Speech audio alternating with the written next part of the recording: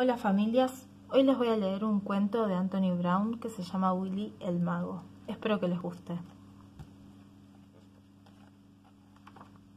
A Willy le gustaba mucho el fútbol, pero había un problema. Él no tenía botines, no tenía dinero para comprarlos.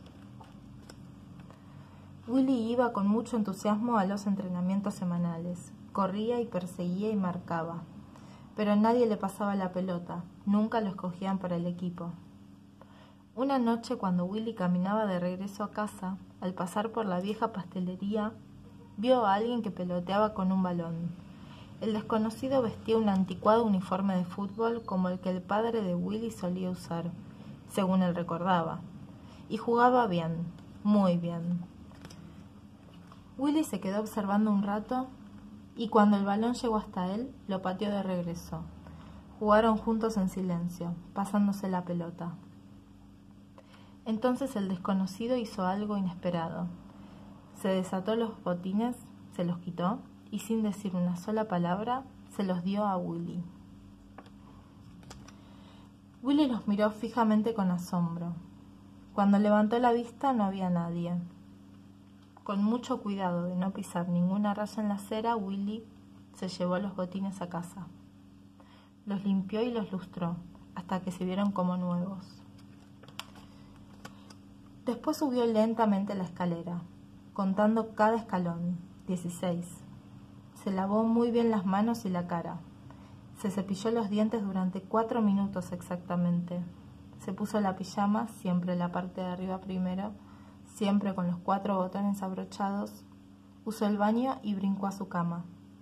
Tenía que estar en la cama antes de que dejara de correr el agua del excusado, porque quién sabe qué podía suceder si no lo hiciera así. Cada mañana repetía todas esas rutinas al revés, cada mañana. Willy se sintió muy orgulloso de llevar sus botines al día siguiente al entrenamiento pero los otros jugadores no se impresionaron en lo más mínimo, hasta que lo vieron jugar. Con los viejos botines, Willy era fantástico. Cuando el capitán seleccionó a los jugadores para el partido del siguiente sábado, Willy no podía creer lo que veía. Estaba tan contento que corrió hasta su casa, con mucho cuidado de no pisar las rayas de la acera, todos los días Willy se ponía sus botines y practicaba sus tiros, burlaba, pasaba y cabeceaba. Lo hacía cada vez mejor y mejor. Willy estaba seguro de que sus botines eran mágicos. Todas las tardes Willy se ponía sus botines y regresaba a la vieja pastelería. Había algo familiar en el desconocido que hacía que Willy quisiera volver a verlo. Pero él nunca estaba allí. La noche del viernes Willy cumplió su rutina antes de acostarse. Subió lentamente la escalera contando cada escalón, todavía 16. Se lavó bien las manos y la cara. Se cepilló los dientes durante cuatro minutos exactamente. Se puso la pijama, la parte de arriba primero, con los cuatro botones abrochados. Usó el baño y brincó a su cama, antes de que hubiera dejado de correr el agua. ¡Puf! Pero Willy estaba demasiado excitado para conciliar el sueño. Finalmente cayó dormido e intranquilo, soñando en desastres. A la mañana siguiente se despertó sobresaltado.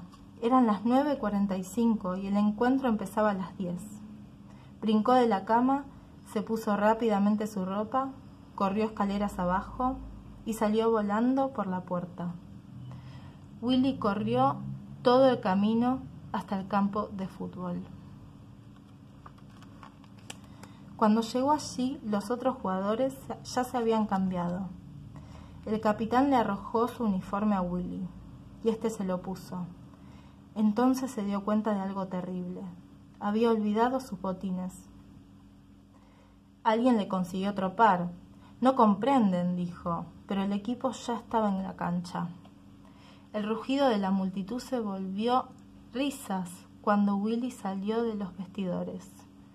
Willy sonrió, pero en su interior sintió enojo. El juego empezó. Willy se sorprendió de lo rápido que era. Después de unos pocos minutos, los contrarios ya habían anotado 1 a 0. En el reinicio el balón le llegó a Willy por el extremo. No tuvo tiempo para pensar, solo corrió con la pelota. Willy era un mago. La pelota parecía estar unido a él por un hilo invisible. Burló a tres contrarios e hizo un tiro cruzado perfecto. ¡Gol! Parecía como si Willy no pudiera equivocarse. Cada vez que tenía el balón, los contrarios se quedaban hipnotizados. Los equipos eran muy parejos. Faltaban unos cuantos segundos para que el juego terminara y todavía iban uno a uno. Le pasaron el balón a Willy, que estaba en la defensa. Burló a un jugador y a otro y a otro y a otro, hasta que rebasó a todos los contrarios. Solo faltaba batir al portero. El portero era enorme y la portería parecía pequeñita. ¿Lo podría hacer Willy? Por supuesto que pudo. La multitud quedó pasmada cuando Willy logró el tiro perfecto. ¡Gol! Willy el mago, Willy el mago, cantaba la multitud.